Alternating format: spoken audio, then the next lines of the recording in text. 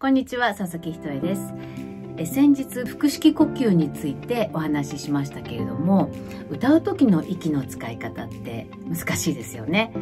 えー、どんなのがあるのかなとかいろいろこうテクニックもあると思いますけれども、今日は、えー、素敵に歌っていくための息の使い方、えー、ぜひ実践していただきたいブレス術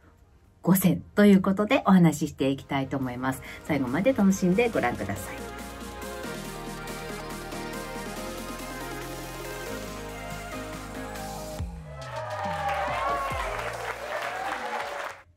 私はボーカルコーディネーターとして自分らしく歌って人生を豊かにしていくためのサポートとアドバイスをさせていただいております。歌うことで表現していきたいというボーカライフについて興味のある方はぜひ参考にしてください。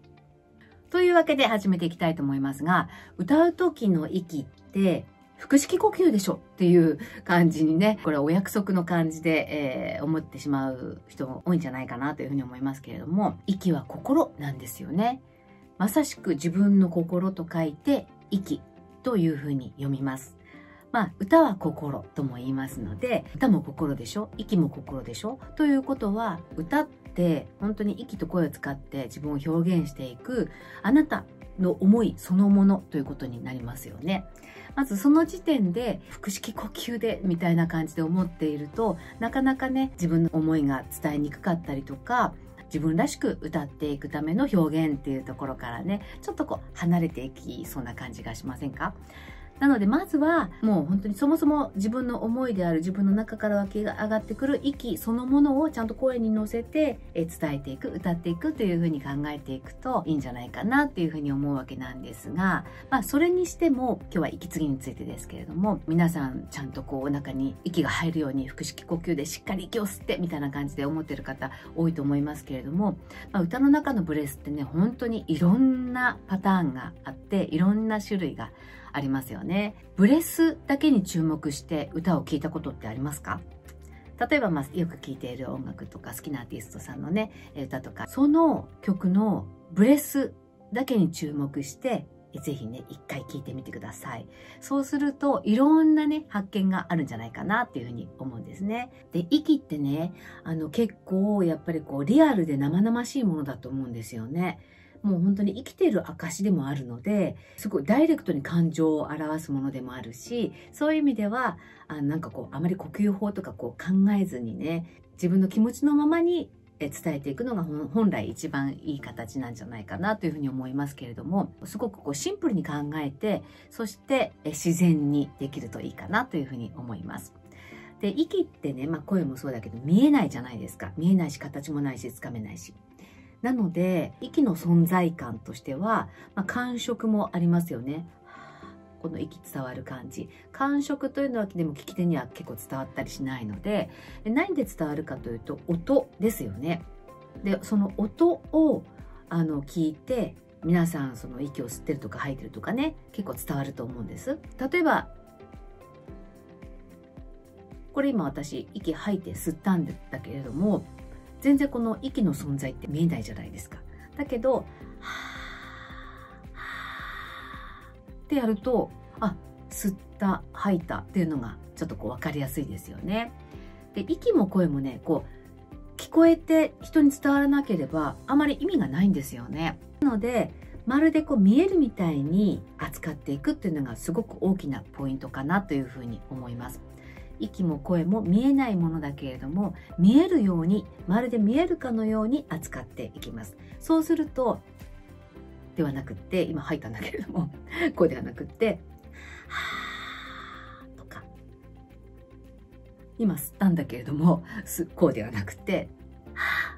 ーとかあの、そういう風にしてあげると、なんかこう聞いてる方もね、息の動き、声の動きっていうのがちょっと見えてくる感じがしますよね。それすごく大事だなっていう風に私は、えー、思っています。そういうことを踏まえて、え具体的な息の動きについてね、えちょっと説明していきたいなというふうに思っています。まず、まあいろいろあるんだけれども、一つ目、普通に鼻ブレスです。まあ、口で吸う息に対して鼻で吸う息のことですけれども、まあ、どちらかというとでもね、口で吸う方がさっきも言ったように見えやすいのでね、息を感じやすいので、歌とかそういう何か表現するときは口の方が伝わり感としてはあると思います。ただ、鼻ブレスはね、腹式呼吸に近いし、すごいいい状態のいいブレスを吸えるんですよね。なので、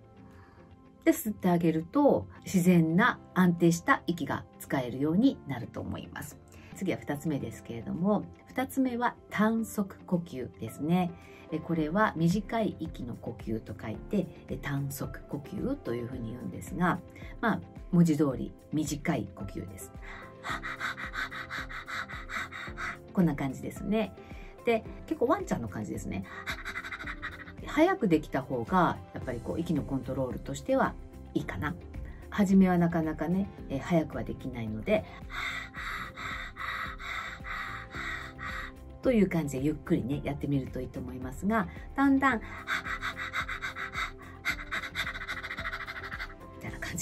できるようになると、えいいかなというふうに思います。で、これは日常的にね、皆さんされてる呼吸なので、えよく運動してる時とか走ってる時なんかはね、こんな呼吸で息を吸って、ま、吸ったり吐いたりしてるんじゃないでしょうかね。なので、難しくはないです。で、意識してやるとちょっと難しいかなというふうに思います。で、どういうふうに意識するかということですけれども、まず、ちゃんと聞こえるようにということですね。えしっかりと聞こえるように、そして肩が肩とか胸とかが上がらないように注意してみてください。こんな感じ。ってなる人すごい多いですけれども、こういう感じではなくて、もう本当に単純に息のみを動かしていきます。みたいな感じですね。体を使ってブレスしようとするとどうしてもお腹がね、ってこう動いたりする人いるんですけれども、これ全く必要ないです。体は何も動かさない。まあ、厳密に言うといろいろ動いてはいるんですけれども、表面的にね、えー特に変わらない感じですね。外側は、えー、あまり変わらないイメージで、えー、息をこう動かしていく感覚でやってみるといいです。この単速呼吸というのは、実は歌の中でね、すごくよく使うブレスで、結構使用頻度が多いんじゃないかなというふうに思います。よく注意して聞いてみるとわかると思いますが、という感じからスタートする歌い出しが非常に多いんですね。なので、まあこれぜひできるようにしてみてください。これはでも本当に日常的に全然やってる呼吸なので、で、これってすごくたっぷり吸ってるような気がするじゃないですか。ブレス音がしっかりしてるので。だけど意外に、あの、たくさん吸ってるっていうわけじゃなくって、ちゃんとこう、私は頭に入るイメージなんですが、実は腹式呼吸がしっかりできていて、歌の中で使えるブレスになります。なので、なんかね、結構たくさん吸えばいいかと思っている人も多いと思うんですけれども、たくさん吸えばいいっていう問題じゃないんですよね。特に、こんな感じで吸ってしまうと、胸がいっぱいになってしまって、うまいこと声を使っていけないっていうことがね、あるのでね、吸えばいいっていうことではないんです。皆さん結構たくさん吸おうと思って、えー、ドツボにはまるケースもね、あると思うので、どちらかというと、本当にこの短速呼吸の、はっくらいな感じのブレスで練習してみるといいでしょう。で、次、3つ目、胸式呼吸ですけど、まあ、腹式に対しての胸式呼吸ですけど、これ胸で吸っちゃダメみたいに思ってる人がすごい多いかなっていうふうに思うんですが、あの、私たち話したりする時もね、もういつも腹式呼吸で全部を話してるわけじゃないですよね。呼吸っていろんなパターンがあって、すごいこう様々だし、呼吸の数だけ種類があると言っても過言ではないかなっていうくらいなので、まあ、とりあえずあまりこうじゃなくちゃダメだとか思わずに、普段あの話してるくらいの割と浅めの呼吸ですかね。そういう風に歌う時っていうのも全然あると思いますのでね、その呼吸もぜひ使ってみてください。普通に。ただ、あの、しっかりと出す時とか、たっぷり息を使って表現する時とかいうのは、もうちょっと深めな違ったブレスになるんじゃないかなっていうふうに思いますけれども、まあ、とりあえずね、ちょっとこう軽めに歌う時なんかは全然問題ないと思います。で、4つ目は、結構深めにたっぷり吸う時のブレスですね。こんな感じです。みたいな。結構スペースがある時じゃないとなかなか吸えないので一つのフレーズの中で途中に吸うブレスよりも割と B メロの始めとか頭の歌い出しとかちょっと隙間がねある時にこんな感じで吸うことがあります。太くてゆっくりしたブレスですね。で、5つ目、最後ですけれども、これは深くて一瞬でたっぷり吸うブレスです。これは結構難しいと思いますが、一気に、はっっていう感じでガバッて吸える。お腹に、割とこれはお腹に入る感じですかね。はグッという感じでこう溜め込むみたいな。っていう感じのブレスですね。これはどちらかというと、すごい激しめな曲を歌っている時のサビの手前とか、まあ、そういうところでガッと吸うことがあります。ちょっと難しいですね、これはね。だけど、まあ、その前に、えー、とりあえず順番に割と短速呼吸とか頭に入る感じのブレスができると、えー、普通に歌っていくことができると思いますので、えー、ぜひ練習してみてください。意外にブレスってこんなに重要なのか全然ブレスを意識してなかったっていう発見がねあると思うんですよね。なのでそのアーティストさんの歌を聴く時にまずブレスのタイミングだったりブレス音からねチェックしてみると意外にね歌いやすかったりしますきっと。で結構息が足りないところとかねあもうサビ高音が出なくて苦しいみたいな時なんかは私もそうですけれどもえ何が違うのかなっていろいろこう考えて歌ってみるとあブレスが違ったっていうことがね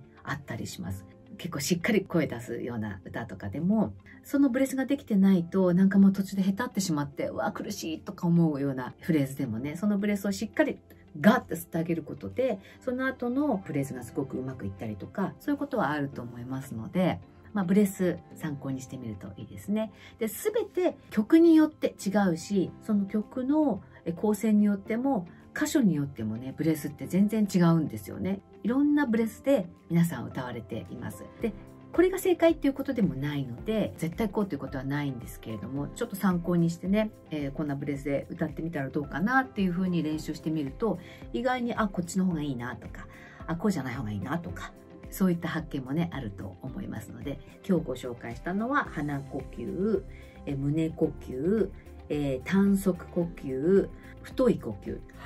っていうなんか飲み込むみたいなね感じの呼吸。そして一瞬で、えー、スピーディーにガッと吸うためあの吸う溜め込む。という